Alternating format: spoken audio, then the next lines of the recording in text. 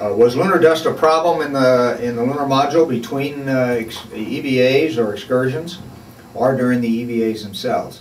Uh, the only time we noticed the dust in the lunar module was just after getting back in the cabin uh, after an EVA.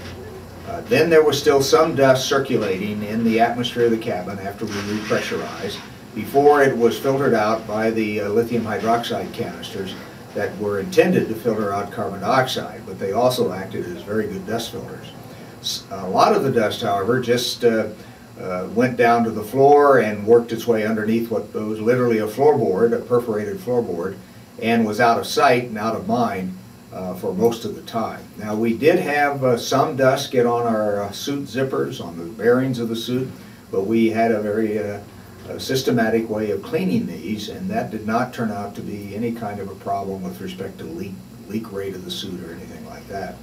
You could see scratches on the bearings of the suit, uh, but they were circumferential scratches. They, uh, they were not scratches that appeared to uh, cause any loss of, uh, significant loss of oxygen.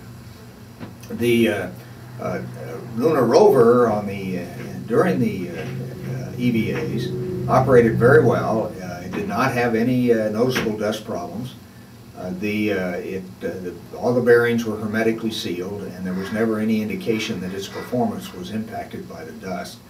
Uh, there uh, were a few tools, however, that were not sealed, and when dust got into their working parts, they gradually bound up and, uh, and were not uh, operable.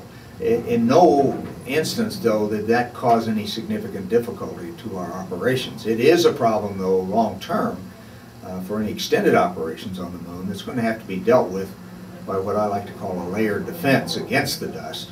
And it's primarily, I think, an, an engineering and operational uh, issue. For example, uh, on these long-term uh, stays on the moon, it would be desirable never to bring your suit into a habitat.